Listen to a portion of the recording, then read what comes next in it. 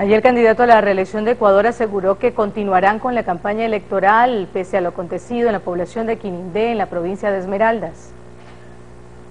Ha sido, insisto, extremadamente pacífica, inusualmente pacífica, llena de esperanza, llena de optimismo, es un hecho absolutamente aislado y habrá que continuar, habrá que continuar. Tenemos la tarea de construir la patria nueva, la patria de todas y de todas. Es un hecho tremendamente doloroso el día de hoy nosotros hemos suspendido la campaña, el recorrido que teníamos Esmeralda, Santo Domingo, Noroccidente, Pichincha, pero mañana muy probablemente continuaremos con esa campaña.